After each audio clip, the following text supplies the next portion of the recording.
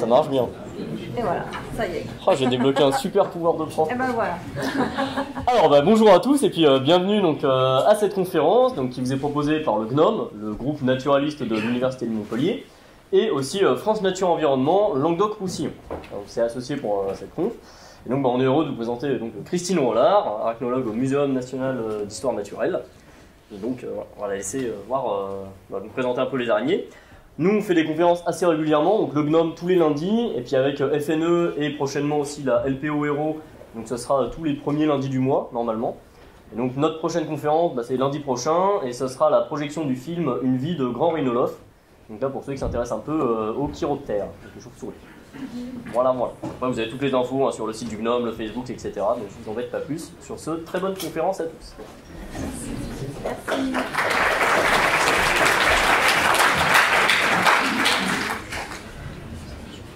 Merci au GNOME de m'avoir euh, invité donc, pour faire cette conférence. Donc, euh, bon, je suis descendue ce matin du coup de Paris hein, pour venir vous voir.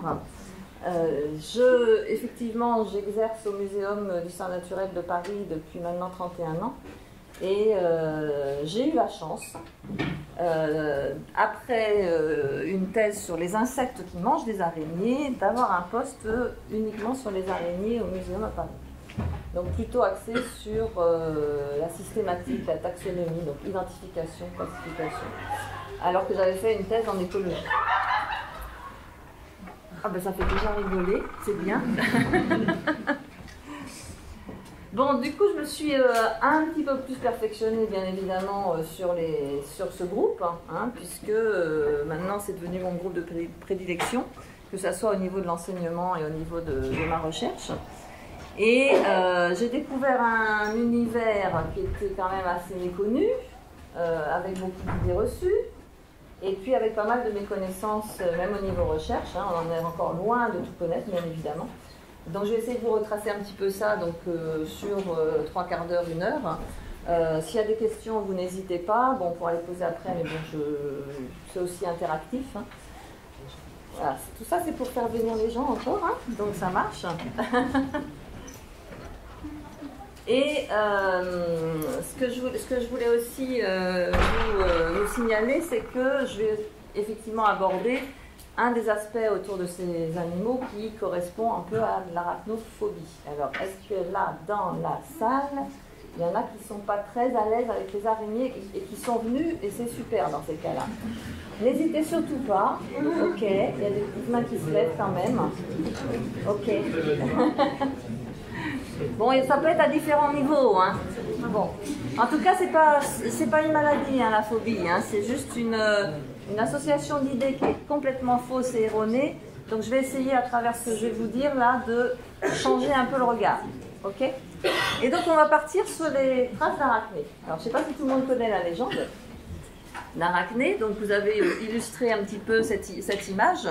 Il y avait effectivement euh, cette euh, personne, donc arachnée, qui était une euh, tisseuse, qui était terrestre, qui était une terrienne et qui faisait des très très beaux tissages. Et il se trouve qu'Athéna, une des déesses, la déesse, on la connaît, la déesse de la guerre, mais aussi qui faisait des tissages, a eu vent que cette terrienne faisait des choses quand même de très très belle facture. Elle est allée la voir et elle, a décidé de, euh, de faire une sorte de euh, concours euh, de tapisserie pour voir qui ferait la meilleure tapisserie, la plus belle tapisserie.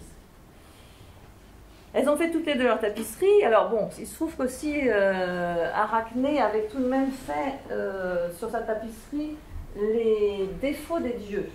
Ça ne se fait pas quand même à l'époque. hein. Donc déjà, il y avait la thématique de la tapisserie. Et en plus, la tapisserie était quand même très très belle. Et Athéna, de rage d'avoir vu ça, a détruit la tapisserie d'Arachné. Arachné, qui a été complètement euh, bouleversé par ça, s'est pendu. Et ben, de, euh, après ça, en fait, Athéna était quand même euh, bouleversée par la réaction et a décidé en fait de faire revivre Arachné et qu'elle tisse ensuite toute sa vie. Donc elle l'a transformée en araignée. Donc voilà ce qu'on va essayer de faire, c'est de se retrouver sur les traces de cette terrienne qui tissait beaucoup. Donc ça veut dire qu'effectivement les araignées, quelle est la caractéristique à votre avis des araignées? C'est de produire de la soie. Tout à fait. Donc produire de la soie, et puis euh, ben, bien évidemment il faut savoir d'où. Hein. Donc euh, produire de la soie, c'est ça, peut-être? Alors ça, effectivement, c'est un petit clin d'œil, hein, puisqu'on m'appelle aussi Spider-Woman. Hein. Donc, euh, Spider-Man a bien évidemment toujours des fils de soie qu'il fait sortir par les mains. Donc je pense que tout le monde quand même ici le sait, ça sort pas par là quand même, hein, mais par effectivement d'autres organes qu'on appelle des filières. Alors bien évidemment pour ceux qui ne sont pas très à l'aise, il, il, va y avoir des images et des photos en gros, Hein, donc vous, vous, y attendez un peu, sachant que la majorité des araignées c'est 5 mm. Hein. donc vous retracez ça à, une autre échelle. Donc on a effectivement des organes ici qu'on appelle des filières, des tubes qui vont produire les fils de soie. Si on les regarde d'un peu plus près, hein, on a effectivement donc ces six filières, donc là au microscope à balayage, qui sont euh, ces six filières, ces six tubes sont pourvus eux-mêmes de microtubes qu'on appelle des fusules et qui vont produire des fils de soie. Si on voit ça d'une autre façon, donc un peu plus gros, donc quand on a effectivement là, vous voyez que ça sort bien hein, des filières, on a plusieurs petits tubes parce qu'un fil de soie, ça correspond à plusieurs fibrilles de soie qui sont agglutinées pour former le fil. Donc ici, c'est une araignée qui était en train de faire, de, de passer et repasser. Alors vous en avez un qui est beaucoup plus épais ici c'est un fil de, pont de toile, et donc elle passe et re-repasse, et donc effectivement après ça fait une certaine épaisseur. Mais déjà, le fil que, l'on voit ou qu'on en aperçoit est déjà constitué de plusieurs fibrilles de soie qui, qui sortent des fusules. D'où effectivement l'intérêt et euh, l'étude en fait de ces fils de soie qui a été de plus en plus étudiée. Donc pour avoir une petite idée, je voudrais faire un peu d'histoire. Il se trouve qu'on est à Montpellier en plus. Et euh, un des premiers, donc qui a euh, dans un mémoire en 1710 parlé à l'Académie royale des sciences de Montpellier, euh, c'est donc François-Xavier Bon de Saint-Hilaire, et il avait fait une dissertation sur l'araignée qui contenait la vertu et les propriétés, alors regardez bien pourquoi j'ai mis ça en rouge, hein, de cet insecte à l'époque, c'est vrai qu'on mélangeait les araignées et les insectes, et il y avait la qualité, l'usage de la soie que l'araignée produisait et les gouttes qu'on pouvait, en tirer pour guérison de l'apoplexie, de la léthargie et de toutes les maladies soporeuses à l'époque. Puisqu'il y avait aussi le venin qui pouvait être très intéressant à étudier. Donc il a été premier à parler un petit peu de ces fils de soie, mais il y avait également euh, René-Antoine de Réaumur qui avait lui-même aussi en 1710 fait une publication à l'Académie royale des sciences de Montpellier en examinant la soie des araignées et en la comparant avec la rentabilité à l'époque de celle du verre à soie qui est utilisé depuis très très longtemps. Après ces écrits, c'est tombé un peu en désuétude et on ne s'est pas trop intéressé quand même aux araignées, c'était pas très facile à, à élever. Mais néanmoins, il y a quelqu'un d'autre qui a essayé, c'est le père Camboué, Hein, donc qui était un missionnaire jésuite à Madagascar et qui est resté à Madagascar de 1882 à 1929 et qui a fait plusieurs ouvrages en arachnologie, en entomologie. Euh, et il a, même, envoyé des échantillons de soie de la néphile dorée de Madagascar, donc c'est celle qui est utilisée, qui a été utilisée dans les élevages pour essayer de, tirer des fils, et euh, cette néphile qu'on appelle alabé là-bas, donc il a envoyé en fait ces échantillons de soie au laboratoire lyonnais de la condition des soies à l'époque. Et ils ont encore d'ailleurs quelques échantillons que j'étais allée voir en fait au musée des confluences de Lyon. Donc ils ont quelques échantillons de cette soie un peu dorée. On l'appelle la néphile dorée, la Golden Orb Web Spider, parce qu'effectivement ces fils ont une coloration un tout petit peu de jaunâtre, hein, naturellement, à partir aussi de ce qu'elle va, de, des proies qu'elle va euh, manger. Alors vous avez effectivement cette, euh, cette grande néphine, bon, c'est des grandes araignées à toile qu'on n'a pas euh, en France, hein, qui sont tropicales et qui font des toiles euh, immenses, hein, quelquefois sur plusieurs mètres de diamètre. Donc c'est pour ça que cette araignée-là avait été étudiée, parce qu'on savait que c'était une grande tisseuse et qu'on pouvait tirer des fils du coup de, soie de cette araignée. Et juste avant de te répondre, le petit schéma de, voilà, de la traite, à l'époque on parlait de traite des araignées, de la traite des araignées du, euh, père Camboué. Donc il mettait, il avait une sorte de guillotine hein, qui ne coupait pas la tête. Hein. Euh, il bloquait en fait les araignées et puis ensuite, à partir du moment où vous sollicitez l'araignée, elle produit des fils. Hein. donc il suffit de la, titiller un petit peu et elle a des fils qui sortent. Et donc il entourait, euh, il tirait des fils et puis après il avait une sorte de rouet et il entourait en fait ces fils sur des rouets.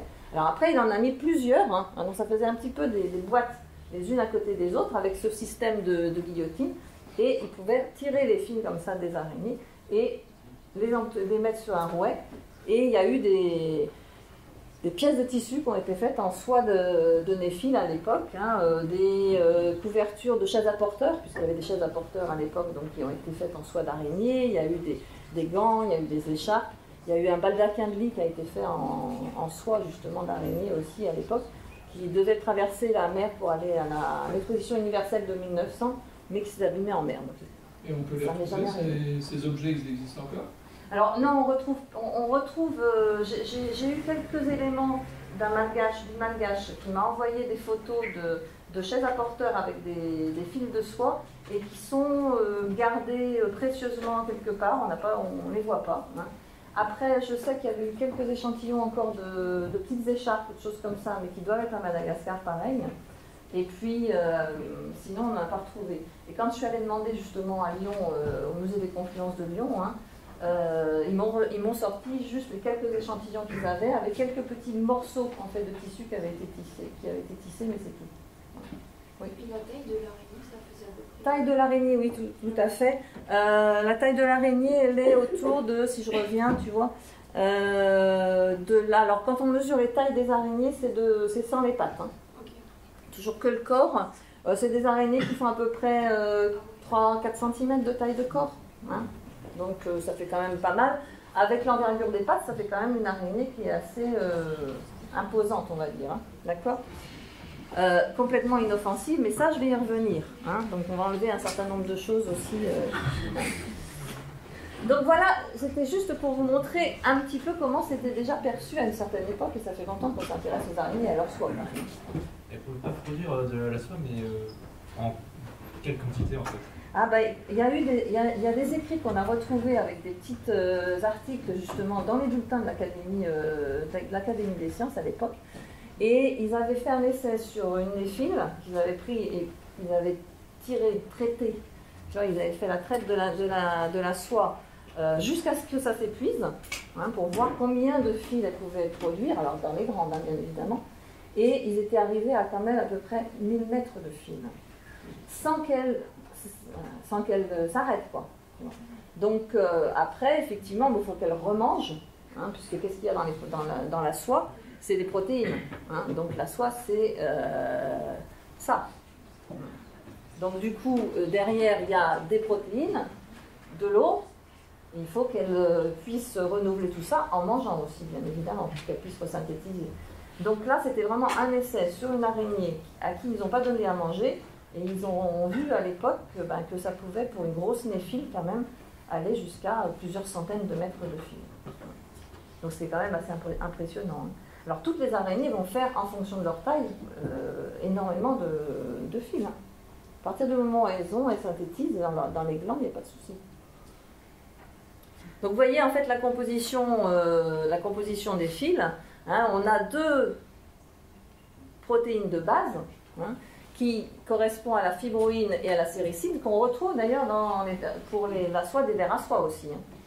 Mais avec une, composition un petit peu différente par rapport à, aux matières en fait qu'il peut y avoir euh, qui sont secondaires, mais qui sont très importantes au niveau de la liaison.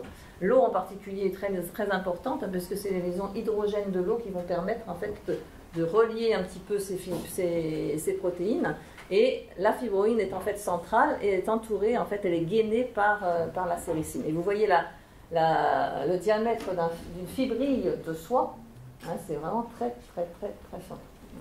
Donc voilà un petit peu quelques éléments sur la soie, puisqu'on on suivait les traces de soie et des fileuses. Effectivement, les araignées sont des très grandes fileuses. Et on s'est intéressé beaucoup à ça. euh, et en particulier maintenant, euh, puisque les élevages, c'est quand même pas si évident que ça. Je vous rappelle que les araignées, ça mange quand même un certain nombre d'autres animaux, dont le plus gros prédateur des araignées, ce sont les araignées elles-mêmes. Donc les élevages, c'est pas facile. Il faut d'abord les élever dans des, dans des espaces suffisamment grands, chacune faisant sa toile, ça va, hein, euh, qu'il n'y ait pas trop de rencontres. Et en plus, qu'est-ce qu'elles mangent Des proies vivantes. Donc il fallait avoir en, en parallèle, en particulier quand ça a commencé à Madagascar en 1896, je vous le rappelle, euh, des élevages de proies vivantes à côté pour pouvoir les nourrir. Euh, C'était quand même hyper contraignant hein, comme, comme élevage, contrairement au verre à soie où on met des végétaux et puis on récupère les, cocons et ça se fait beaucoup plus facilement. Donc maintenant on essaye de, faire ça différemment et puis avec les techniques plus modernes, il y en a qui se sont intéressés donc au fil de soie, et en particulier des physiciens et des chimistes, et qui ont trouvé, des méthodes plus ou moins encore euh, à peaufiner euh, pour faire produire des fils de soie par d'autres organismes. Néanmoins, euh, Thomas Scheibel, donc, qui a créé la Silk et en particulier qui a déposé un brevet qui s'appelle BioSteel, euh, a élevé bien évidemment lui aussi des néphiles, mais maintenant il a essayé de faire produire des fils de soie par d'autres organismes, en particulier des bactéries. Et donc il essaye de, faire produire en fait ces fils par des bactéries. Euh, a priori ça, ça marche pas mal. hein. Et puis sinon, en fait, Amsil, c'est aussi de la soie un peu lyophilisée qui sert pour des, ah, produits de beauté. Voilà. Donc, euh, Par contre, il y en a d'autres aussi qui travaillent sur la soie. Euh, en particulier, ceux qui sont vraiment connus pour, ça, c'est l'Oxford Silk Group, donc à euh, l'université d'Oxford avec Fritz Oldrath et puis Arnaud euh, qui est un, un physicien qui travaille à Jussieu, donc dans la fac qui est à côté du muséum à Paris. Et eux, ils travaillent pas mal sur les fils de capture des, toiles géométriques où euh, on a uniquement sur ces fils-là des euh, petits fils collants avec des petites gouttelettes de glu qui sont déposées régulièrement. Donc ils sont en train d'étudier en fait ce qui se passe dans les gouttelettes de glu pour voir un petit peu l'élasticité de ces fils aussi, qui est quand même une des propriétés beaucoup plus intéressantes que les fils de verre à soie, qui sont très résistants aussi. Fils de soie d'araignée un peu plus résistant que le verre à soie, pas beaucoup plus comme ça a été mis euh, dans certains articles, mais bon, à un moment donné, il faut des, des sous hein, aussi pour, euh, pour faire de la recherche. Donc du coup, ils ont un peu augmenté les, choses hein, pour avoir des sous, mais c'est très résistant quand même. Et deuxième propriété, c'est très élastique qui n'est pas le cas pour les films de verre à soie. Donc il y a quand même des études qui sont faites de façon plus moderne en fait maintenant sur les films de soie. Donc je voulais vous dresser un petit portrait de ces fils qui sont quand même quelque chose de très important dans la vie des araignées. Et comme il a été dit tout à fait euh, correctement au tout début, c'est vraiment la caractéristique des araignées de produire ces fils de soie. hein. Ce n'est pas de faire des toiles, c'est une des, réponses que j'ai régulièrement. La caractéristique des araignées n'est pas de faire des toiles. Oui, c'est l'image qu'on en a avec des belles toiles géométriques très régulières, mais pour la majorité des araignées, il n'y a pas de toile. Et surtout, c'est des fils de déplacement qu'elle va utiliser. Toutes les araignées vont faire des fils de déplacement, mais pas forcément des toiles. Et les fils dont je vous ai montré la composition, et celui sur lequel les euh, chercheurs travaillent, ce sont les fils de déplacement. C'est les fils que toute araignée, quelle que soit l'espèce, va produire de toute façon dans sa vie pour se déplacer d'un point à un autre, pour chuter avec un fil, un fil de rappel. Donc c'est vraiment ce fil-là qui est étudié. Ce n'est pas forcément les fils autres, puisque les araignées, ce sont des usines à soie. C'est plusieurs glandes pour plusieurs types de fils, pour différents usages. Contrairement, encore une fois, au ver à soie qui produit un seul type de fil. Pour les autres organismes qui produisent, de la soie, parce qu'il n'y a pas que les araignées, mais ce sont les seuls animaux qui produisent plusieurs types de fils pour différents usages, issus de plusieurs types de glandes. Il y a six types de glandes différentes, qu'elles soient paires ou impaires, Alors, en fonction euh, de leur forme, les noms donc, ont été donnés par les scientifiques, hein, donc sont variés, en fonction de la forme de la glande. Alors, bien évidemment, ça n'occupe pas toute la partie arrière des araignées. hein. C'est un schéma éclaté. hein. C'est quelque chose euh, qui occupe à peu près ce- cette place-là. Mais regardez bien par rapport aux couleurs et aux liaisons qu'il peut y avoir. Euh, ben, il y a bien évidemment, oui, les fils donc de survie ou de déplacement ou de traîne, etc. Donc c'est toujours les mêmes. hein. Ça, c'est les fils qui sont communs à toutes les araignées. Ces fils, on les retrouve d'ailleurs dans les cadres des toiles géométriques. C'est les mêmes. Par contre, regardez bien dans une toile géométrique, il y a déjà trois couleurs différentes parce que les fils qui servent en fait au cadre, les points d'attache et la spirale collante ne sont pas issus des mêmes glandes. L'araignée va utiliser les glandes qu'il faut pour les différentes parties de sa structure. Après, vous voyez qu'il y a aussi des fils qui correspondent à l'emmaillotage des proies. Ce ne sont pas les mêmes que ceux qu'on a vus précédemment. Et toutes les araignées n'emmaillotant pas leur proie, elles n'ont pas forcément toutes les glandes qui sont ici, qui sont les glandes tubuliformes, puisqu'il n'y a pas d'emmaillotage. Donc c'est une fois particulière. Après, on a ici, regardez, un cocon avec les œufs qui sont au milieu. Il y a des enveloppes externes, donc qui sont produites et qui ne correspondent pas en fait au bourg interne. Vous je ne sais pas si vous aviez imaginé que les araignées pouvaient produire plusieurs types de fils comme ça, mais c'est assez complexe en fait. Donc c'est vraiment quelque chose qui, on est vraiment dans un univers très soyeux. On est dans un monde soyeux. En plus, les araignées, elles ont euh, sur le corps des soies. Elles n'ont pas des poils. Alors ça, on va enlever ça aussi. hein. Donc on n'utilise pas les termes de poils chez les araignées, puisque nous, on est poilus en tant que mammifères, mais elles, elles sont soyeuses. Elles produisent des fils de soie différents, d'un matériau qu'on appelle la soie, et elles sont couvertes de sortes de poils, mais ce sont des soies. L'insertion au niveau des téguments et de la cuticule n'est pas la même que nous. hein. Et ces soies, en particulier sur les pattes, sont reliées au système nerveux. Donc on est là, alors ça je vais donner quelques petits éléments pour ceux qui n'étaient pas très à l'aise, pour qu'il y ait des qualificatifs beaucoup plus positifs dans, no- dans notre tête par rapport au monde des araignées, on est dans un monde soyeux. C'est doux quand même. C'est agréable. hein. Puisqu'elles sont très très très sensorielles, beaucoup plus que nous, et comme on n'imagine pas. hein, les soies qu'elles ont sur le corps, reliées au système nerveux, sont des soies mécanoréceptrices, tapotement, déplacement d'air, euh, etc., et chimioréceptrices. Donc toutes les phéromones, les odeurs, le goût des proies, etc., tout ça c'est ressenti par l'araignée. Donc on est dans un monde soyeux et sensoriel. On va acc- accentuer un petit peu sensitif, un peu pareil. Et le seul petit terme un tout petit peu anthropomorphique, parce qu'il ne faut pas anthropomorphiser le monde des araignées, comme d'autres animaux d'ailleurs, sensible. Soyeux, sensoriel, sensitif et sensible. Comme ça, les quatre S, vous les mettez dans votre tête, et comme ça, c'est la qualificatif, les qualificatifs des araignées. Après ces éléments sur la soie, quelques informations un peu générales quand même. Bon, c'est vrai qu'on les trouve partout. Euh, bon, ce qui rassure pas en général quelquefois les arachnophobes, mais on en a effectivement partout. Bon, sauf en fait en, en Arctique, on n'en a pas trouvé. Euh, mais on y en a quand même euh, jusqu'à 6700 mètres d'altitude, sous, sous les glaces, dans l'Himalaya, dans des crevasses, etc. hein. On en trouve dans des conditions extrêmes. hein. Que ce soit de chaud ou de froid, on les trouve dans des conditions extrêmes. Le plus souvent, elles sont solitaires. Euh, Il y a quelques espèces qui sont dites vivant en communauté, hein, qui se rassemblent et qui, avec des tapotements un petit peu et des organes d'essence, hein, parce que je dis qu'elles étaient très sensorielles, se reconnaissent il n'y a pas d'agressivité. Donc là, effectivement, il n'y a pas, euh, elles ne se mangent pas entre elles. hein. Donc euh, là, il y a quelques, quelques araignées qui sont de ce type-là, mais la majorité sont solitaires. Avez-vous une idée de la, la taille des araignées? La plus petite jusqu'à la plus grande? La plus petite, à votre avis C'est un point sur une feuille. C'est 0,3 mm. Donc ça, c'est la plus petite adulte, hein, taille du corps, qu'on a pu trouver en fait au monde. hein, qu'on a trouvé dans, des, dans, des, dans de la litière en fait en Colombie. hein, donc il y a un genre particulier.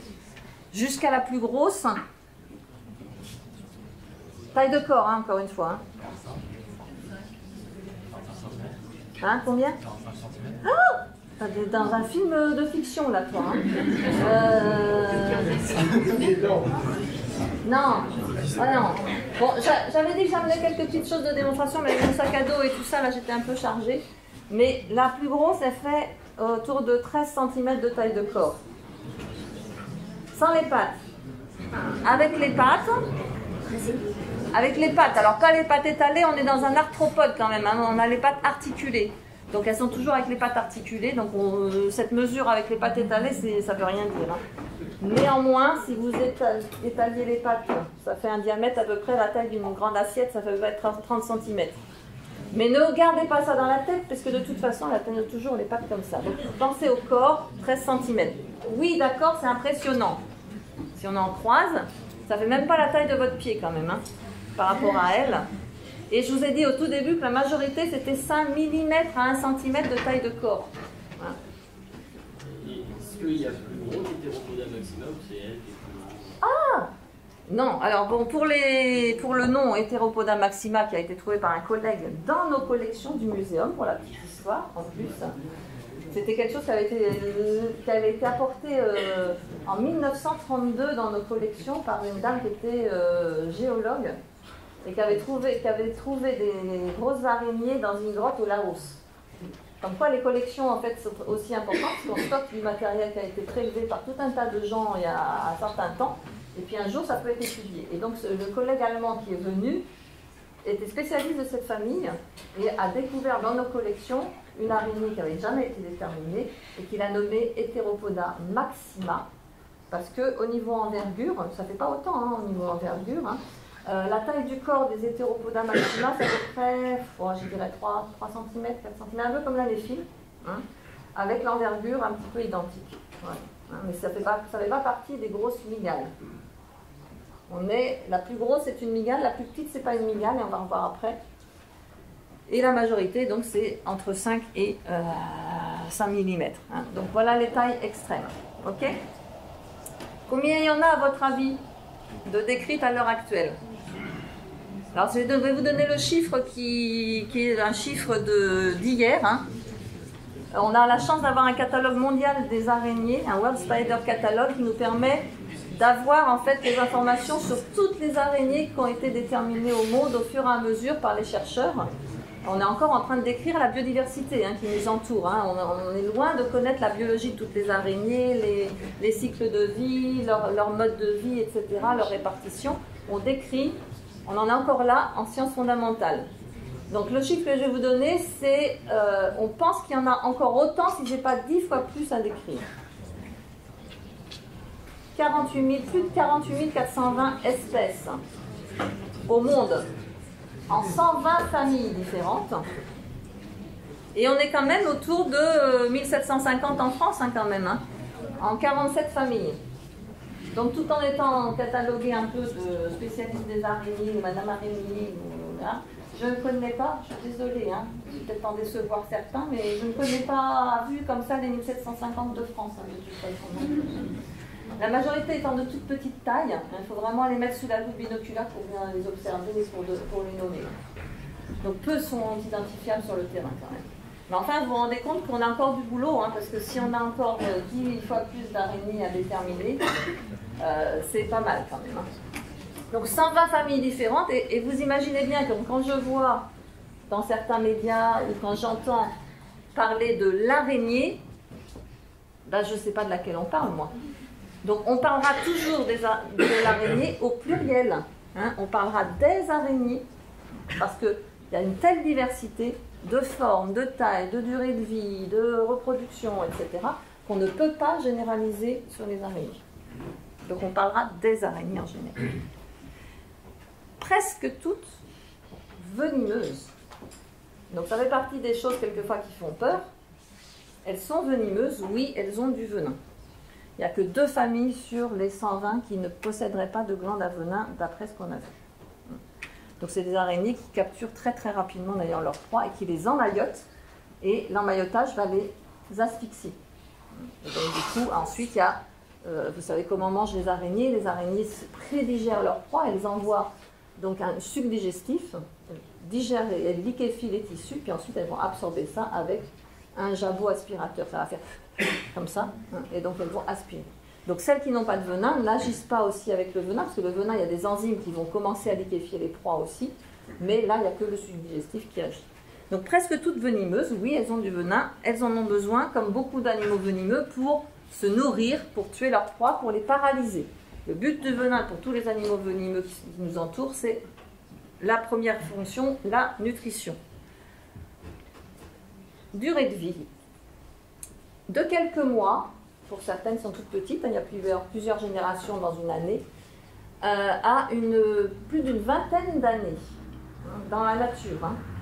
Euh, dans les élevages, avec des araignées qui quelquefois sont nourries, logées, sans prédateurs, euh, il se trouve qu'au muséum, moi j'en ai, ai encore euh, trois d'une prise de douane qui, c'est les douaniers qui me les avaient apportés euh, il y a plus de 20 ans.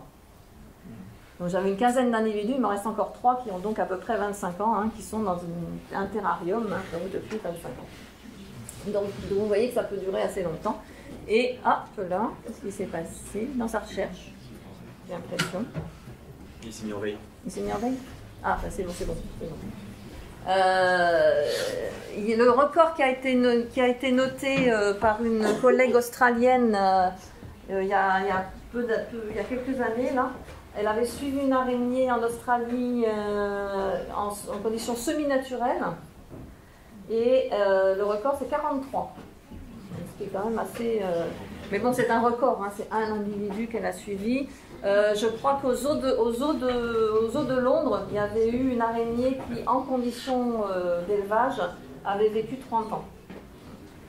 Mais bon, c'est vraiment des records, hein, ça. hein. C'est vraiment euh, la majorité des araignées, hein, comme je vous l'ai signalé ici, c'est 1 à 2 ans, pas plus. Donc la majorité des araignées qu'on voit ici en France, c'est 1 à 2 ans. Après, il y en a qui vivent jusqu'à 3 ans, d'autres une petite dizaine d'années, mais on n'en a pas en France qui vivent jusqu'à euh, une vingtaine d'années. C'est souvent dans les gros, euh, la taille est, un peu en corrélation avec la, durée de vie quand même. Développement, tout le monde le sait, par mu. Donc effectivement, développement par mu, selon les espèces, le nombre de mu est différent. Donc je ne peux pas généraliser non plus, ça va à peu près de 3 mus jusqu'à une bonne quinzaine de mus pour atteindre le stade adulte. Hein, avec reproduction une fois qu'elles sont adultes. Donc quand vous voyez euh, sur le terrain par exemple, ça c'est vraiment une photo qu'on a prise euh, euh, juste au moment où l'araignée sortait hein, de, sa mue. Mais quelquefois on n'a plus l'araignée, hein, mais on n'a plus que ça qui, pend au bout d'un petit fil. Et on a l'impression quelquefois c'est une araignée morte. C'est pas une araignée morte, c'est une, c'est une mue, hein, c'est une exuvie. hein. donc il n'y a plus rien dedans, c'est complètement transparent, il n'y a plus rien. Donc elle, elle était juste en train de... Elle est molle quand elle sort, et elle était en train de durcir tranquillement ses, pattes, et la chitine se durcissait, et elle faisait du coup de, de la gymnastique avec ses pattes. hein. Gymnastique douce, comme ça, pour, euh, bah, pour que les articulations soient quand même souples aussi, hein, après que les, que les parties euh, donc, euh, de, du céphalothorax à l'avant et des pattes puissent se durcir correctement. Donc, elle se développe bien par mu et selon les espèces, donc c'est vraiment très variable. Vous voyez la couleur de cette araignée là en fait, qui est un peu verte avec un point rouge. Ce- C'est une araignée qui faisait à peu près euh, 3 mm de taille de corps. Euh, verte comme ça, en fait, sur des feuilles, on les appelle des araignées concombres. Donc c'est des épères concombres. ouais. Elles font des toutes petites toiles géométriques sous les feuilles, en fait. Il faut vraiment euh, bien regarder pour, pour arriver à les voir. Alors, comme il y avait effectivement dans le temps, hein, vous avez vu qu'on avait parlé d'insectes. Et effectivement, c'était quand même pas mal assimilé aux insectes. Sauf que les araignées et les insectes, ça fait longtemps que c'est parti sur des branches complètement différentes de l'évolution, hein, depuis bien 500 millions d'années, et que on est d'un côté chez les animaux qui ont des antennes, hein, donc antennes comme euh, mille pattes, comme crustacés, etc., et les insectes, et de l'autre côté, on est sur des groupes qui n'ont pas du tout d'antennes, mais qui ont en particulier des chélicères, donc souvent des tiges qui portent des crochets avec des formes différentes. Et donc, les proches parents des araignées, les voici. hein. donc, on est vraiment dans la classe des arachnides. Et vous avez des silhouettes hein, qui vous représentent le- les proches parents des araignées. Bon, il y a des silhouettes qui, vont, qui vous évoquent certainement quelque chose. hein. Euh, ça, par exemple. Les scorpions, je ne sais pas si les pseudo-scorpions, vous connaissez. Ça fait vraiment des... C'est beaucoup plus petit. Hein. C'est un, scorpion sans la queue, presque, avec des pinces aussi à l'avant. Et ça vit souvent dans les litières, dans, sous des écorces, etc. En fait, ça, fait, ça, ça participe beaucoup en fait, au, recyclage aussi du sol. Euh, ça aussi, vous connaissez Les opilions ou faucheux. Hein Donc, euh, ce ne sont pas des araignées. hein. Vous avez bien fait attention que on a parlé d'opilions faucheux. hein. Euh, L'origine d'ailleurs de, l'appellation des opilions en tant que faucheux, qui est très ancienne, puisque les anciens observaient la nature un petit peu différemment et voyaient des choses. Et il se trouve que tous ces animaux-là peuvent se séparer d'une patte quand ils sont euh, agressés. Donc, euh, ils lâchent une patte, hein, et la patte, chez les opinions, fait un mouvement de faux, comme quand on utilisait une faux les faucheurs, en fait, à une certaine époque, utilisaient la faux. Et en plus, ils avaient une allure un peu dégingandée quand ils étaient avec leur faux pour marcher. Et les opinions sont un peu avec leurs euh, leurs pattes comme ça, un peu euh, dégingandées. Donc, en fait, le terme de faucheux a été attribué aux opinions parce que la patte fait un mouvement de faux aussi quand elle est détachée du corps. N'oubliez pas que de toute façon, à la nuit suivante, elle repousse. En plus, c'est pratique. hein.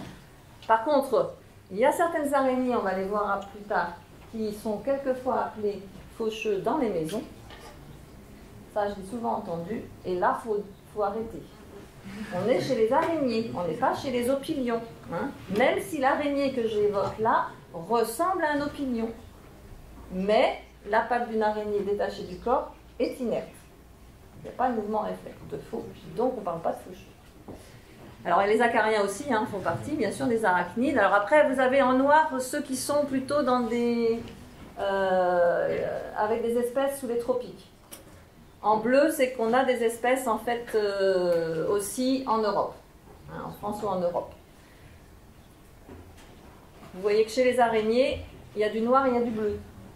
Hein, effectivement, il se trouve que chez les araignées il y a plusieurs, je vous ai dit 120 familles. hein.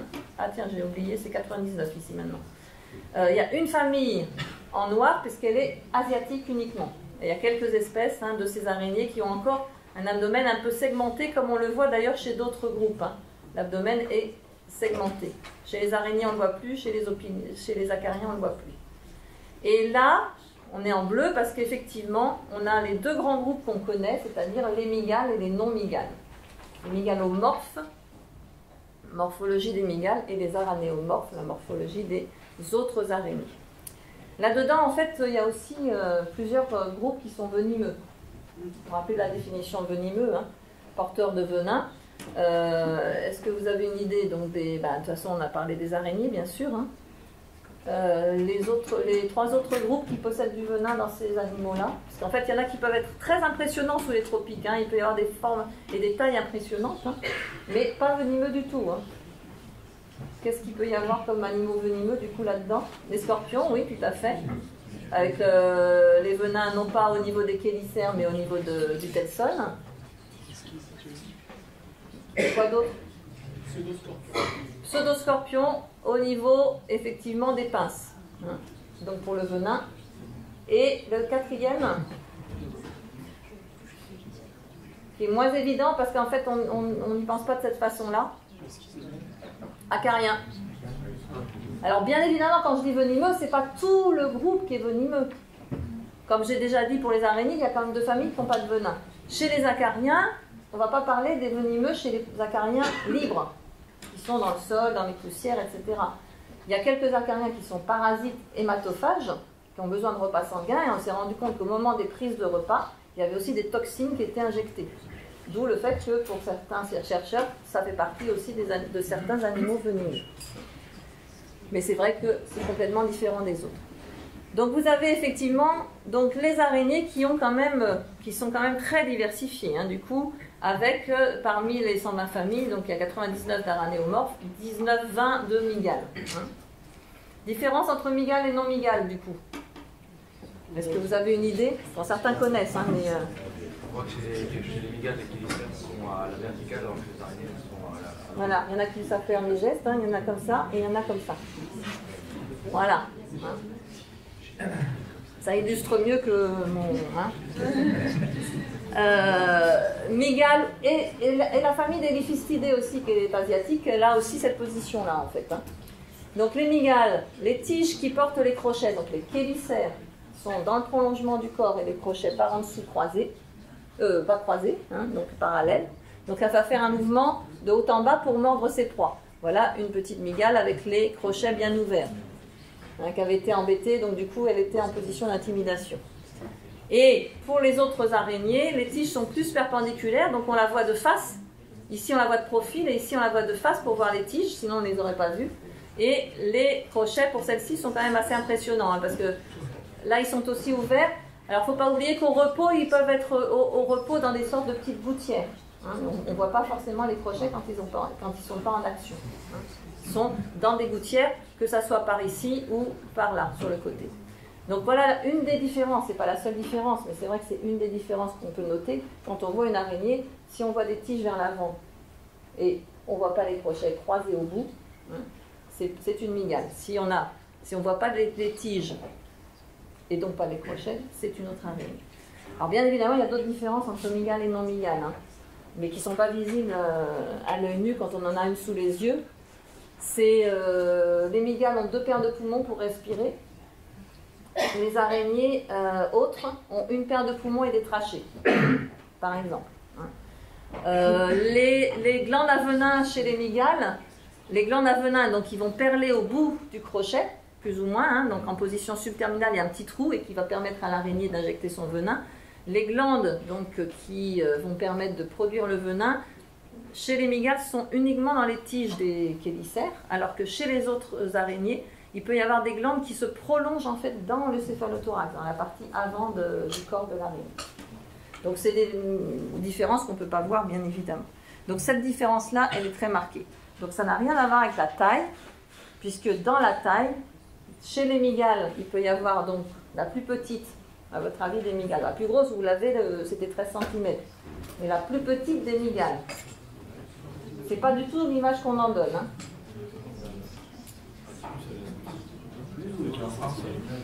Un millimètre. Un millimètre pour la plus petite des mygales qu'on ait trouvées au monde. Et la majorité des mygales du monde entier, c'est autour de 3000 espèces. Et la majorité des mygales du monde entier, c'est autour d'un centimètre, deux centimètres grand maximum. Mais celle-là, on n'en parle jamais. hein. Elles ne sont pas impressionnantes et tout ça, donc euh, voilà.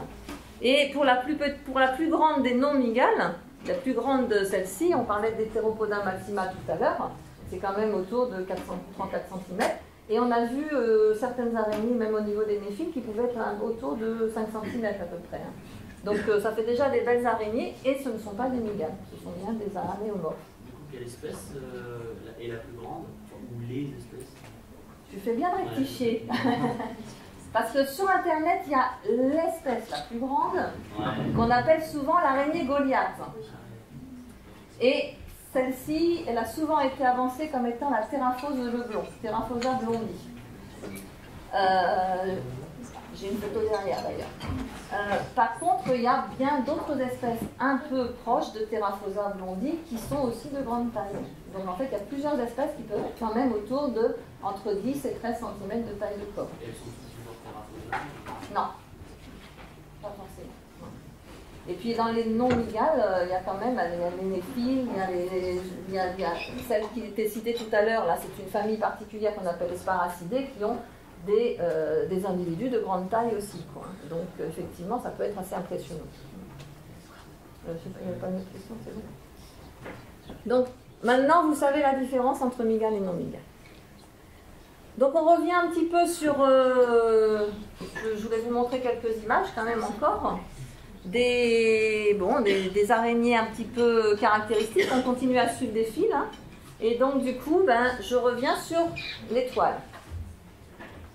L'étoile avec les fils de soie. Et donc c'est vrai que les, les plus connus, je pense que celles-ci, vous les avez déjà vues quand même. hein. Donc je- j'ai mis pour tous ceux que ça intéresse les noms, euh, les noms scientifiques hein, derrière. Hein. Euh, Il n'y a pas beaucoup de noms communs chez les araignées, hein, donc celle-ci, elle en a quand même un, hein, c'est les pères diadèmes, ou les pères Desjardins, ou les pères porte-croix. On la voit très très régulièrement sur sa belle toile géométrique, hein, euh, donc euh, dans les jardins. On peut en retrouver à une certaine hauteur dans les arbres. J'avais fait une, mission dans les, dans les forêts auvergnates il y a quelques années. On était allé chercher des araignées de la canopée, hein, donc euh, jusqu'à 30 mètres de haut. Et ben, je me suis rendu compte que les épervières, elles étaient jusque là. hein. Donc euh, vous voyez qu'il y a une répartition aussi au niveau des strates de la végétation importante. Donc elles peuvent aller pas, assez loin. Et puis elles se, re- se retrouvent dans tous les milieux. Autre araignée à toile géométrique euh, qui est quand même pas mal connue aussi, hein, c'est celle qu'on appelle euh, les pères frelons ou les pères faciés. hein. Alors éper, le terme d'éper, c'est toutes les araignées à toile géométrique. hein. C'était le nom éper, euh, puisque le premier nom de genre qui a été donné à toutes ces araignées, c'était Epera. Et donc du coup, on a gardé ce terme un peu donc, de groupe d'éper pour toutes les araignées à toile géométrique. Et celle-ci, elle fait même une petite signature ici, là, hein, donc un zigzag, souvent de part et d'autre. Ça s'appelle un stabilimentum. Alors on pensait, pour ça que ça avait été appelé comme ça, que ça stabilisait l'édifice. hein. Et en fait, euh, c'est pas le cas. C'est pas du tout, euh, ça fait vraiment une ornementation très particulière. Et toutes les araignées du genre Argiope du monde entier font une signature de leur toile géométrique. Ça peut être une signature en rond, ça peut être une signature de, de part et d'autre comme les pères frelons, ça peut être une signature en croix. Donc il y a différentes signatures, entre guillemets, hein, différentes formes de stabilimentum. Et en fait, on s'est rendu compte que quand on regardait ces les toiles de ces araignées en, euh, UV, on voyait en fait c'est beaucoup plus marqué en fait cette soie en zigzag.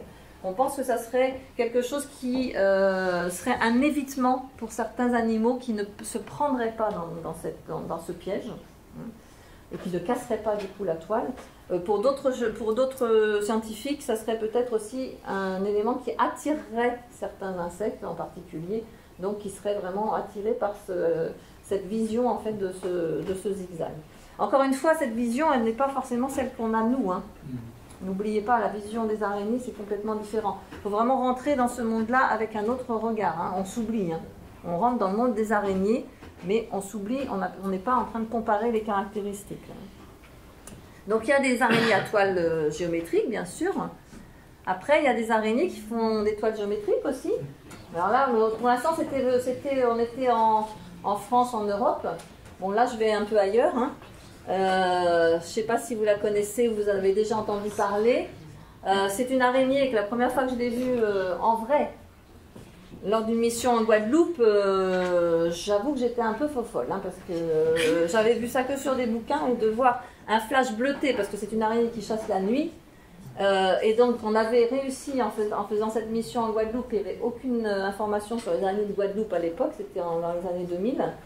Et en battant des arbres, on avait fait tomber justement ces araignées-là, donc du genre Dinopis.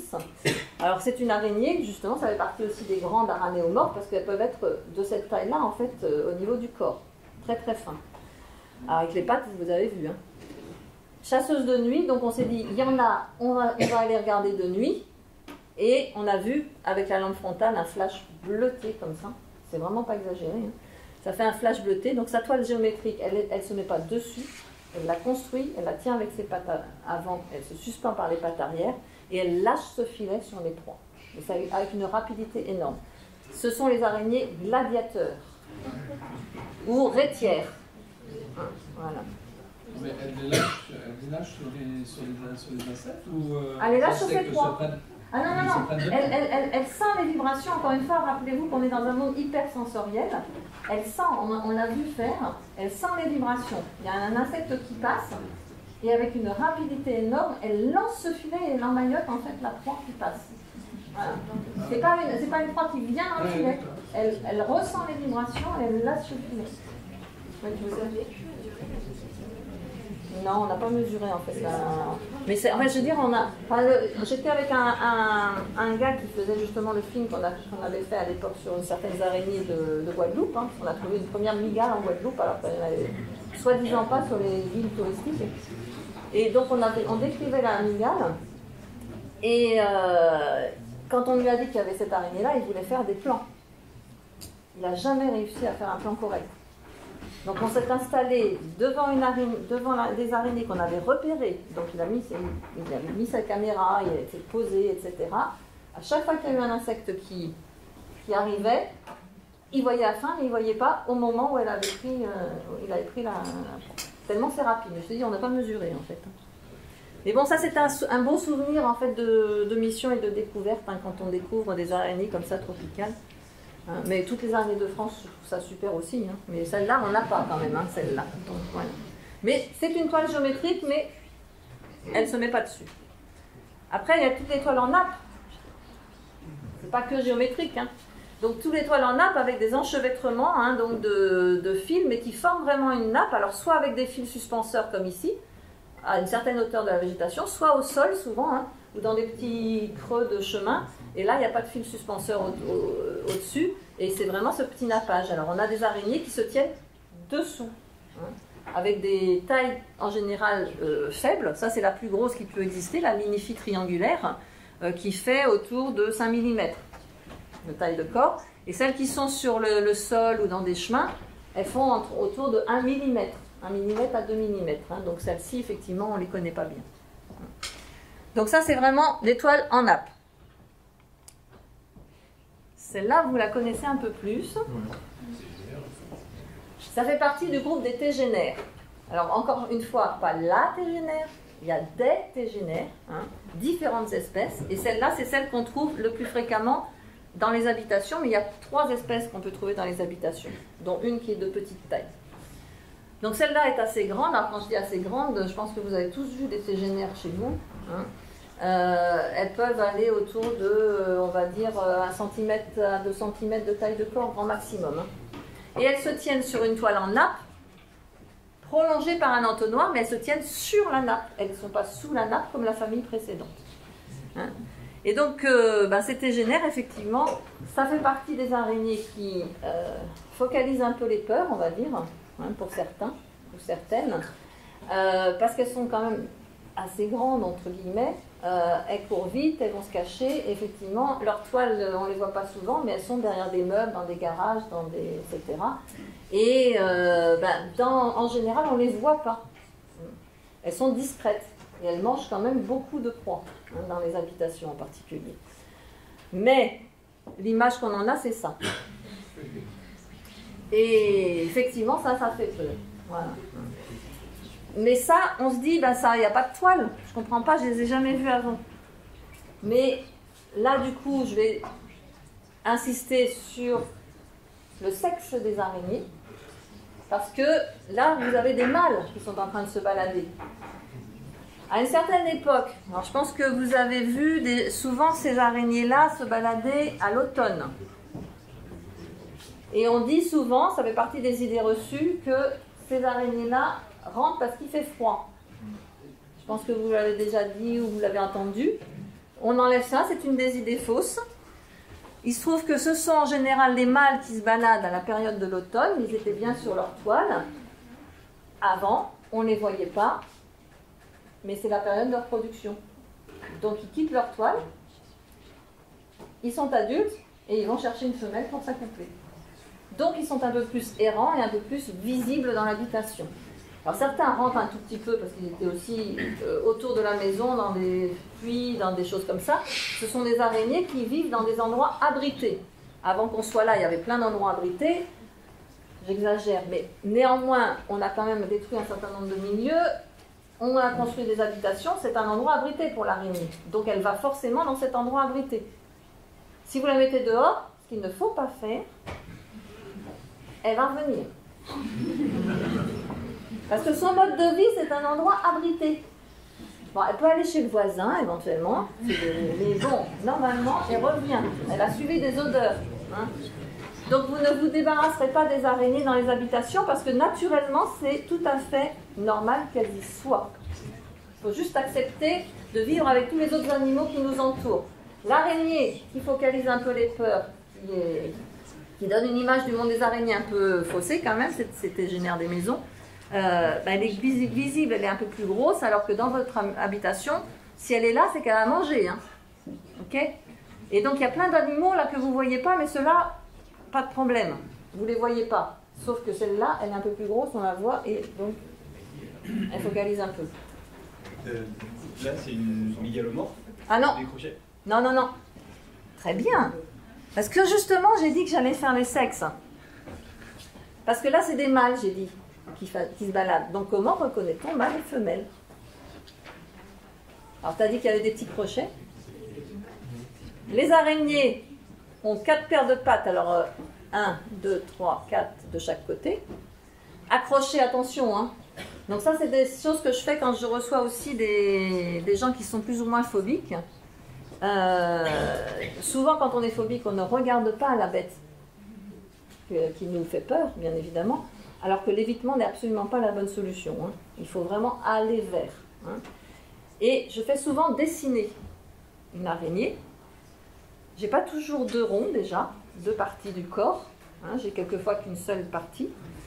Euh, et quand j'ai deux parties, j'ai pas toujours les pattes accrochées où il faut. Les pattes sont accrochées à l'avant du corps et pas à l'arrière. hein, D'accord? Donc les quatre paires de pattes sont bien à l'avant, sur la partie céphalothorax.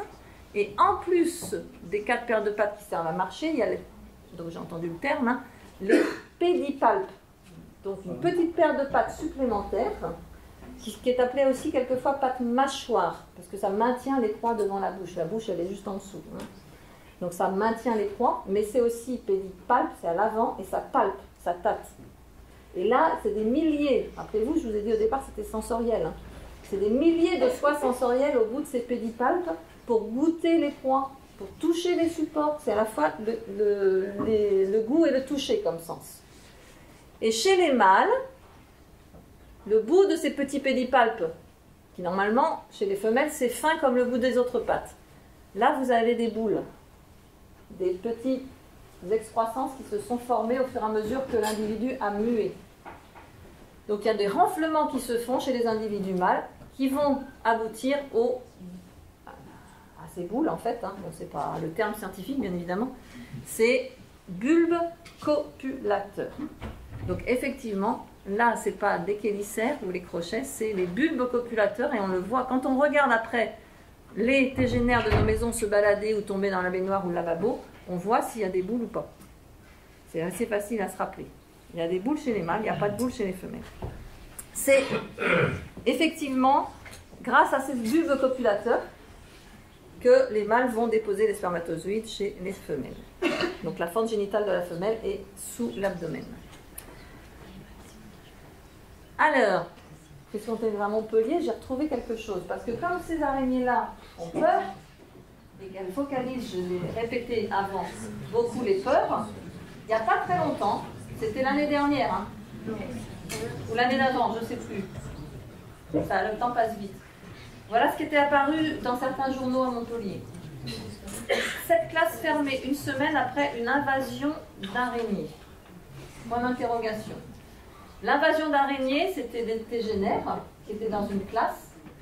Et quand euh, on m'a contacté pour savoir ce qu'il en était, euh, j'ai réussi à avoir la, la directrice de l'école. Elle avait vu quatre araignées dans l'école. Mais le, terme d'invasion, qui est souvent repris par les médias, et peut être perçu aussi pour une personne qui en a peur comme ça fait déjà plus que une, quoi. Donc du coup, ça fait une invasion. Mais c'est normal quand on ne connaît pas. Hein, je me moque jamais de- des gens qui viennent me voir et qui ont quelquefois effectivement des exagérations parce qu'ils sont dans l'irrationnel et pas dans la rationalité. Mais bon, néanmoins, quand on voit ça, ça, ça m'énerve quand même beaucoup. Parce que pourquoi elle a été fermée une semaine euh, l'école? Pas à cause des araignées, mais à cause des insecticides qui ont été mis dans l'école pour pouvoir enlever les araignées, et les enfants ne pouvaient plus aller dans l'école pendant une semaine. Parce que c'était quand même un peu toxique ce qu'on avait mis euh, dans l'école pour enlever les araignées. Donc vous voyez en fait que l'image, hein, c'était une petite aparté, mais je trouvais que c'était intéressant. L'image qu'on peut en avoir quelquefois va dans l'exagération complète par rapport au comportement qu'on peut avoir derrière. Donc ça, on n'a jamais été envahi. Il n'y a pas d'invasion d'araignées. Si vous voyez ça dans les, articles, c'est faux. hein. Les araignées Je vous l'ai dit tout à l'heure, elles se mangent entre elles. Il y a une autorégulation qui se fait. Si elles sont très nombreuses dans un milieu, elles vont se rencontrer plus souvent. Il y avoir, euh, en a qui vont passer à la casserole. Donc du coup, elles se régulent, elles s'autorégulent. Donc laissons-les faire, c'est pas la peine d'en rajouter. hein. D'accord? Hop là. Oh, C'est moi qui fais quelque chose là. Attends, attends, attends. Non, mais j'ai bougé ça. Attends, j'ai bougé ça. Voilà, c'est bon. Autres araignées. On était dans les araignées à toile. Vous avez vu les différentes toiles. Maintenant, on continue dans les toiles différentes. Toile en réseau. Et ça, c'est vraiment une des araignées qu'on a fréquemment. Alors, j'ai essayé de faire exprès de vous montrer les araignées qui sont là, autour de nous, très simplement. C'est aussi des araignées qu'on peut trouver dans nos maisons. J'en ai euh, dans mon appartement à Vincennes, euh, sous l'évier, hein, donc, euh, qui vit très bien là. hein. Donc, c'est des araignées qui sont autour de 5 mm de taille de corps. On les appelle les stéatodes domestiques ou fausses veuves noires. Parce qu'elles font partie de la même famille que les veuves noires. Voilà notre veuve noire méditerranéenne, la, appelée aussi la malmignate. Donc vous voyez l'allure, en fait, c'est ces petites boules, en fait, qui est comme ça. Donc on est dans la même famille. Bon, là c'est le mâle. Alors maintenant, vous savez, il a des boules, hein, d'accord? Avec euh, l'abdomen plus effilé, en général. Mais si on l'avait vu que lui, on savait que c'était un mâle. On ne peut pas comparer entre, entre les deux. Donc, araignées avec un venin puissant pour leur, contre leur proie, pardon, pas pour, contre leur proie. Mais contrairement à ce qui est raconté, les veuves noires ne sont pas si dangereuses que ça par rapport à nous, gros mammifères qui n'avons jamais été les proies des araignées. Il y a une grosse différence en termes de production de soins. Les productions de soie Non, non, non. En fait, les, quel que soit euh, le sexe, pendant leur vie, ils vont construire effectivement. Alors, certains, certains mâles ne, ne construisent rien et vivent quelquefois en parasite sur les toiles des femelles quand même. hein. Donc il y a des kleptoparasites parmi les mâles, par exemple des néphiles qu'on a vu au tout début. Hein, il y avait un mâle qui était sur l'abdomen de la femelle, tiens, je ne ai pas précisé, mais il vit carrément en kleptoparasite des toiles des femelles, donc il va se nourrir des proies que la femelle laisse un peu en garde-manger ou est en train de se de manger et il vient tout doucement, il est beaucoup beaucoup plus petit, donc il est mal perçu par la femelle. Donc voilà. Donc, mais autrement, pour celles qui font de la soie ou des toiles euh, normales, les mâles et les femelles produisent euh, la même quantité en fait que ce soit euh, pendant, pendant leur vie. Quoi. Donc voilà les, les fameuses, voilà, la famille des Theridiidae, donc avec les veuves noires. Et puis là, vous avez une femelle de veuve noire, donc je vous dis celle qu'on trouve en, général dans, sur le pourtour méditerranéen en Corse, hein, c'est celle qu'on appelle la malmignate en Corse. Et là, elle protégeait ses petits et il y a des petits qui, sortent du, du cocon. On reviendra sur la dangerosité hein, tout à l'heure. Toile en réseau. Autre, autre araignée à toile en réseau dont on a entendu beaucoup parler à un moment donné aussi. Euh, ce sont ce qu'on appelle les loxocèles. Et si vous regardez un petit peu le dessin qu'il y a sur la céphalothorax, ça fait comme un petit violon. Vous avez entendu parler des araignées violonistes ou araignées violons. Et en particulier, il y en a une dont on a beaucoup parlé, il y a à peu près trois ans, c'est la recluse. Donc l'Oxoceles reclusa, qui est l'espèce américaine. D'où le fait que dans les journaux, il y a trois ans, ici aussi, il y avait la recluse américaine qui avait débarqué en France quand même. Or, euh, aucun des scientifiques travaillant sur les araignées ou des gens qui travaillent sur les araignées dans notre association française d'arachnologie n'a jamais trouvé la Loxoceles reclusa ici en France. Par contre, il y a bien en France celle- celle-ci qu'on appelle la Loxoceles rufescens, qui n'est pas la même espèce. Mais on a bien des araignées violons un peu partout dans le monde, puisqu'il y a à peu près 70 espèces de Loxoceles dans le monde. Les Américains maintenant ont tendance à appeler toutes les araignées violons le groupe des recluses. Donc d'où quelquefois effectivement la confusion. Et donc cette recluse avait fait parler d'elle, enfin cette recluse, fausse recluse, puisque c'était pas la recluse, puisque je- on, on m'a envoyé l'araignée à déterminer. Donc c'était un mâle, donc c'était assez facile. Les femelles, c'est pas toujours évident parce que les organes génitaux sont très, entre les espèces sont très, très semblables. Mais les mâles, on peut distinguer en fait les bulbes copulateurs. Et il se trouve que c'était bien la rufescence de chez nous. C'était pas une recluse. Et le chirurgien qui avait euh, récupéré l'araignée et qui avait récupéré la patiente qui s'était fait mordre par cette araignée, donc il y avait une morsure avérée, euh, avait lancé en fait ce, truc-là euh, dans les journaux, etc. Et donc il était très très très embêté après avoir fait cette diffusion qui était complètement fausse.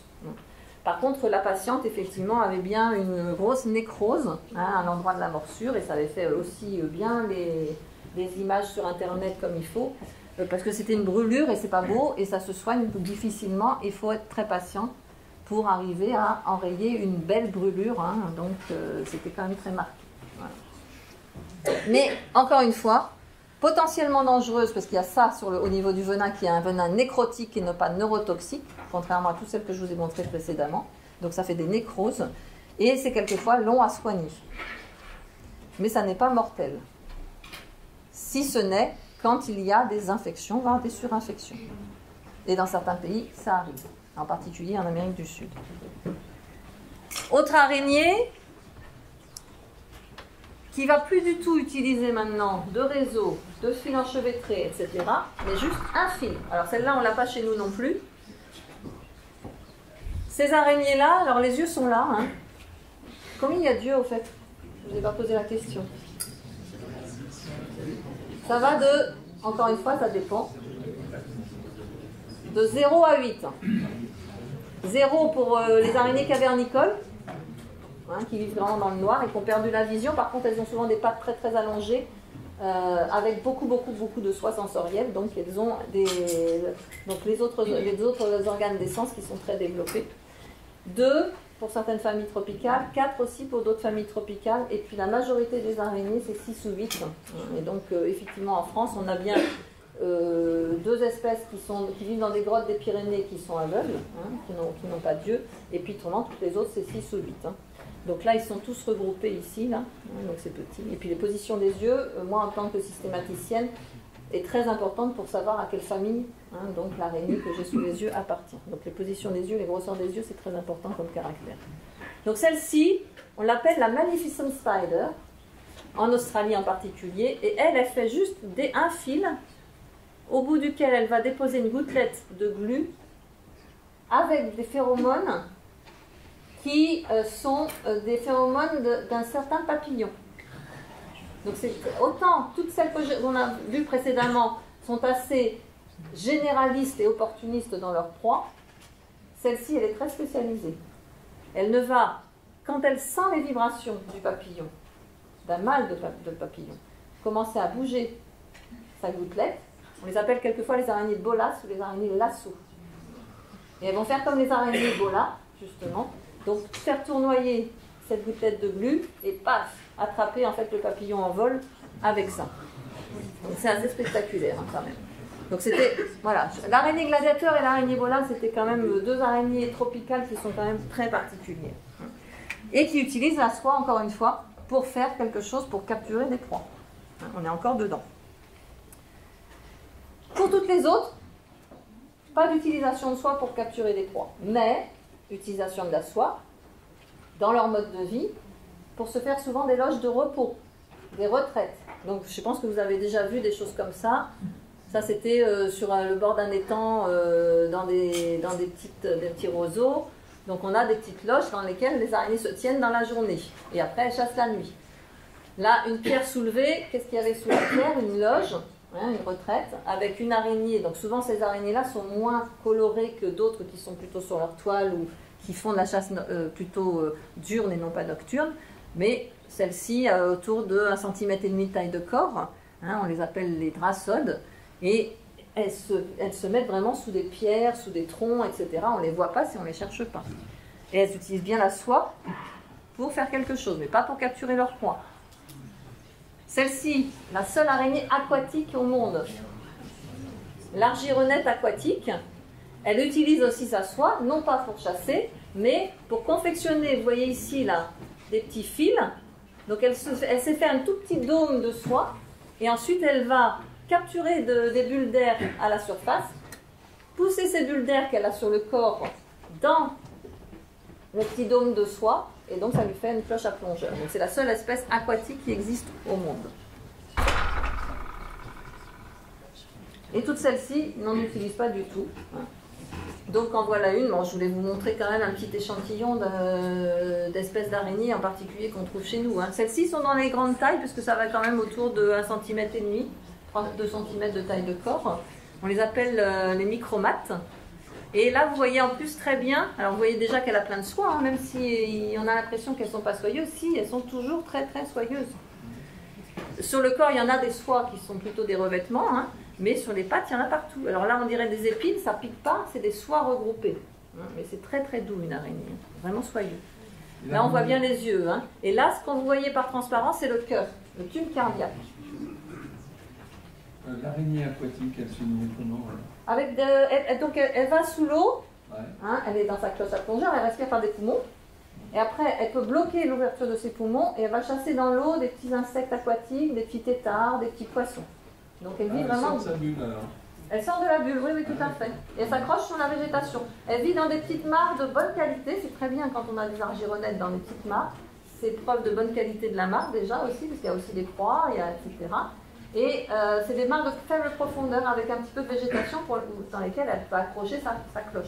Hein, ça- ça- on l'appelle aussi euh, quelquefois euh, comme un-. Et elle peut bloquer les ouvertures des poumons, faire de l'apnée Et elle fait quelle dimension euh, l'araignée fait, alors c'est d'ailleurs le mâle là est un peu plus grand que la femelle. L'araignée fait autour de 1 cm et demi. Hein, c'est pas des très grosses araignées encore une fois. Quelques autres Araignées euh, crabes hein, qui font de la chasse à l'affût sur les fleurs. Euh, ces deux espèces, la mise humaine variable et puis le, le tomise, le tomise replet là, vont même changer de couleur en fonction du support. Hein, Donc, euh, en- alors c'est pas comme le caméléon, même si elles sont appelées quelquefois caméléon. Le caméléon c'est rapide, certains poissons c'est très rapide, les changements de couleur. Là c'est au moins en deux jours, hein. c'est pas, immédiat. Mais on voit bien ce, camouflage hein, quand même. hein. Alors apparemment, c'est ce qu'on nous on voit encore une fois. Pour certains insectes, apparemment, ils verraient bien l'araignée, même comme ça. Elle est repérable. Donc, euh, effectivement, il y a aussi des interprétations qui ne sont pas évidentes à faire par rapport à, ce camouflage et ce, et ce, changement de coloration, ce changement de pigment, et on ne sait pas exactement ce qui va déclencher ça. Il y a quelques chercheurs qui travaillent là-dessus. Les araignées sauteuses, toujours avec leur fil au derrière pour faire leur bond. Elles peuvent faire des bonds de plusieurs fois leur taille, jusqu'à 30 fois leur taille. C'est des araignées qui sont pour la, la plus grande au monde. Elle doit être autour de 1 cm, 1 cm et demi. La majorité des araignées sauteuses font 5 mm. Mais elles peuvent avoir une vue assez, assez lointaine par rapport à leur taille, bien sûr, et pour voir leur proie. Mais elles ont toujours, quand elles vont sauter, parce que c'est araignées sauteuses, des fils derrière pour se stabiliser. Et éventuellement, si elles loupent leur coup, avoir le film de rappel. Et c'est là-dedans, alors celles-ci sont beaucoup plus euh, appréciées du tout public, parce qu'en plus, il y a plein de petites vidéos sur Internet qui sont super mimi, hein, euh, et en particulier celle-là. Donc celles-ci, les petites araignées euh, australiennes là, euh, qui font des danses nuptiales, on les appelle les araignées pans. Donc avec, vous voyez les gros yeux hein, ici devant. Et là, c'est un petit voile. Alors il y a plein d'espèces qui ont été découvertes et qui sont à décrire maintenant. Il y a plein de vidéos sur Internet du mâle qui fait, des danses nuptiales. Donc on a bien euh, les bulbes copulateurs devant. hein. Et euh, les femelles sont beaucoup plus ternes hein, au niveau color- coloris. Mais la couleur apparemment est très importante pour diminuer l'agressivité naturelle des femelles. Et les danses. Les danses.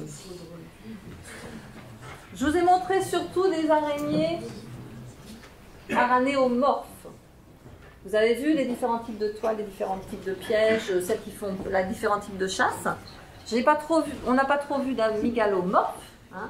Donc voilà les migalomorphes qui arrivent, avec une migale qui fait ici 1 cm de taille de corps, qui vit dans une chaussette, dans un tube. Alors là, on est aussi dans des toiles, toiles en tube cette fois. Toile en tube qui est au sol, on est vraiment dans- là-dedans et on a l'impression de voir une racine au pied d'un arbre. C'est pas évident quand on ne sait pas. Et comment elle vit? Comme ça. Donc elle a une bonne partie qui est sous, le sol, la partie aérienne qui est ici. Quand elle est au repos, elle est là. Quand elle est en activité de chasse, elle va plutôt là. et elle, perçoit à l'aveugle les proies qui passent sur le tube en soie. Et c'est comme ça qu'elle le crochette. N'oubliez pas, Migale, on est comme ça. Elle est à l'envers. Elle va crocheter à l'aveugle à travers le, le de soie l'insecte qui passe. Alors elle en loupe hein, des proies, mais quand elle, la, capture, ensuite elle va, elle ouvre la chaussette, elle va au fond de son tube pour manger, et elle revient pour fermer le trou qu'elle a fait justement pour que ça soit toujours opérationnel et que rien d'autre ne rentre dedans quand même. Donc ça c'est les migales qu'on peut trouver jusqu'au Danemark, et on en a énormément au pied des arbres euh, au muséum à Paris. hein. Tout à fait naturellement. Donc voilà une de nos migales européennes. Les autres migales européennes, forcément je commence par ça, pour pas vous montrer tout de suite les grosses qu'on a l'habitude de voir. hein. Sachant que, je ne sais pas si tout le monde savait qu'on avait des migales en France hein, et en Europe. Donc les autres, on les appelle des migales maçonnes, un peu plus impressionnantes.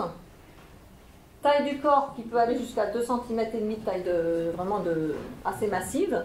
Et elles vivent aussi dans un terrier tapissé de soie, ça fait bien un tube, c'est une toile en tube, sauf qu'elles ferment le terrier par un- une charnière en soie recouverte de terre, hein, une un opercule en soie, et quand elle est en activité de chasse, elle se met au bord et elle attend que les proies passent à, passent à portée.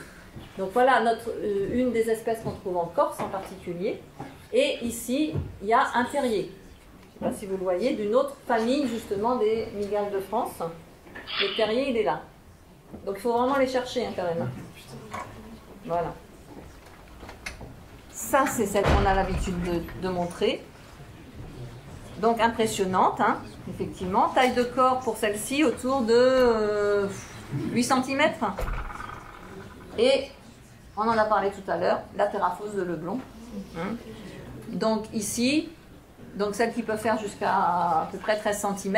Et vous voyez ce qu'elle a comme, comme euh, à l'arrière? Le derrière pelé au de singe. Elle utilise des soies ici. On, voit qu'il y en a que ça commence aussi à être un peu pelé. Euh, elles utilisent comme moyen de défense non pas la morsure, mais le- l'envoi de jets de soie urticante. Elle a des soies à ce niveau-là qui ont des formes de harpon et qu'elle va, frotter, va frotter avec ses pattes pour pouvoir envoyer ça dans l'ennemi potentiel. Et c'est très dissuasif, effectivement, comme moyen de défense. Alors pour l'homme, il faut, faut éviter de toucher toutes ces araignées-là, qui sont de la famille des Theraphosidés, c'est une des familles de, des 20 migales, là, des, des 20 familles de migales, qui- qu'on trouve essentiellement donc, en Amérique du Sud, en Amérique centrale. Et c'est seulement les Theraphosidés d'Amérique du Sud et d'Amérique centrale qui ont des soies urticantes. Toutes les autres Theraphosidés du monde entier n'en ont pas. Donc on ne sait pas qu'est-ce qui a développé ça, mais c'est un constat. Et elles ont plusieurs types de, de soies, jusqu'à sept types de soies différentes. Et ça, c'est utile aussi pour la classification. Donc voilà les grosses migales qu'on a l'habitude de voir et qu'on utilise dans les films ou dans les émissions pour faire peur. S'ils les utilisent dans les émissions, c'est qu'elles ne sont pas dangereuses. Ils ne sont pas idiots quand même. hein. Donc ils continuent à faire peur avec alors qu'elles sont inoffensives pour l'homme. Celle dont on parle assez régulièrement depuis quelque temps, depuis très récemment, suite à un article de début de semaine, c'est la seule potentiellement dangereuse pour l'homme, c'est une migale qui vit en Australie. La Sydney Funnel Web Spider. Euh, 4, cm à peu près de taille de corps, voilà, énorme. hein. Qui vit euh, sur, des, sur des sortes de. euh, au sol, surtout euh, dans des réseaux de fils, avec, où elle va aussi dans l'anfectuosité en fait, euh, de rochers ou autres. Et Sydney Funnel Web, donc elle, fait des sortes de toiles en entonnoir autour de Sydney. Les, Australiens la connaissent très bien. Ils s'en méfient parce que les mâles, quand ils sont à la recherche des femelles, sont errants comme les tégénaires et peuvent rentrer dans les habitations, puisqu'ils sont proches et sont dans les jardins autour de Sydney. Et le mâle est très réactif au dérangement. Les seuls cas de morsure avec ces araignées-là en Australie n'ont été faits que par les mâles errants. Et il se trouve qu'il y a eu 13 cas de mort en 60 ans avant qu'ils ne fassent un sérum en 1980. Ils la connaissent très bien et il n'y a, a pas de danger. Il y a juste dans les écoles où quand ils voient, alors contrairement à Montpellier, là où ils ont fermé, ils ont la pelle. Hein, et donc dans les écoles, s'ils voient effectivement une atraxe se balader dans la cour, où il y a les gamins qui jouent, qui, sont, euh, qui font plein de vibrations, etc., je vous ai dit que les mâles étaient réactifs, se mettent tout de suite en position d'intimidation, ils ont tendance à crocheter ce qui se présente. Donc ils veulent éviter quand même qu'il y ait des risques et donc du coup ils tapent dessus. Mais si on se demande par une atraxe, il y a largement le temps d'aller dans la, la pharmacie du coin, à l'hôpital, etc. Sauf que, sauf que, sauf que, sauf que, voilà ce qu'on ce qu'on voit depuis le début de cette semaine. Australie, après les incendies, malheureusement, hein, et les inondations qui ont suivi aussi, les araignées mortelles prolifèrent dangereusement. Donc on a ça, et il y a eu un, il y a eu un petit euh, communiqué sur euh, France 2, hein, euh, avant-hier je crois. Donc il y a plusieurs personnes qui m'en ont, parlé. Et j'ai vu l'article et je vous dis pas comment ça me fait hérisser les poils. moi. Parce que là, il y, a, plein de, je suis désolée de le dire, il y a plein de conneries sur, sur ça. Et ben, elles sortent, oui, parce qu'il y a quand même effectivement eu des inondations au niveau des terriers, etc. Mais c'est pas plus dangereux qu'autre chose si on fait attention. Et ceux, et ceux qui ont effectivement diffusé l'information et été inter- interviewés, c'est des gens qui sont dans une association de reptiles. Qui ont dit, ben allez, capturez-les et amenez-les nous. Non, on les laisse tranquilles. Effectivement, il y a peut-être une. On a l'impression d'être encore une fois envahi et qu'elles sortent tout d'un coup. Oui, il doit y avoir une perturbation, ça c'est évident avec tout ce qui leur est arrivé. Mais néanmoins, on arrête de parler d'araignées mortelles, ça n'existe pas. Hein. Euh, elles prolifèrent, non, elles étaient là, elles prolifèrent pas plus qu'avant. Hein, elles étaient là. Mais vous voyez, vous vous rendez compte de ce qu'il peut y avoir comme euh, information derrière. hein. Juste pour vous faire une comparaison, des envenimations et des décès par morsure ou piqûre d'animaux venimeux, il y en a beaucoup d'ani- d'animaux venimeux là-dedans.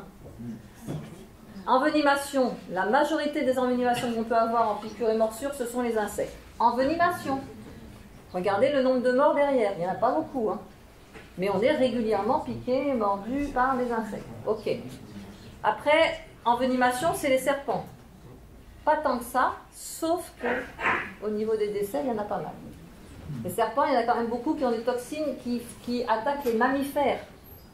Hein, ils, capturent quand même certains mammifères aussi dans leur mode de vie, et puis il y a quand même des serpents d'une certaine taille. hein. Donc là, effectivement, il y a autour de 90 000 cas de morts chaque année dans le monde entier. C'est ça, hein, le camembert, 90 000 à peu près. Après, on a les scorpions. On est quand même pas mal. On est autour de 1500 à 2000 cas de morts chaque année dans le monde entier par an. hein. Ensuite, les insectes, pas grand-chose. Et puis, vous voyez même plus, déjà, le nombre d'envenimations par les animaux marins et les araignées, bah, c'est pas souvent, contrairement à ce qu'est raconté. Je parle des morsures avérées, pas des morsures supposées qui sont par milliers. Mais les décès, on voit même plus le petit, la petite portion de camembert. hein. Euh, là, que ce soit pour les animaux marins ou les araignées, c'est 10 à 15 cas de mort chaque année dans le monde entier. C'est tout.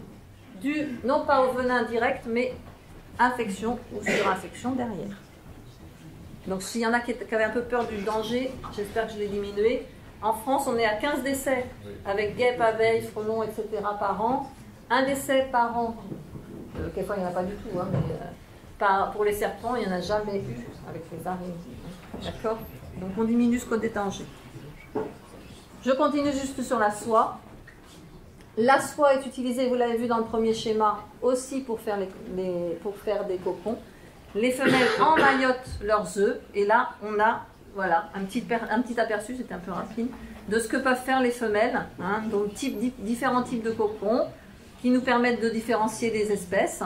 Certaines vont les laisser tout seuls, d'autres vont les protéger. Ça, c'est la veuve noire australienne, justement, la redback, hein, qui protège aussi ses petits. Euh, des araignées crabes qui se mettent dessus leur cocon pour les protéger des prédateurs. Des piseurs admirables ici qui ont une boule et qu'elles prennent avec elles et qu'elles jeûnent pendant toute la durée du développement des, œufs. Des araignées loups qui courent au sol qu'on voit quelquefois au printemps, là, avec des petites boules au derrière, blanches, bleues, marron.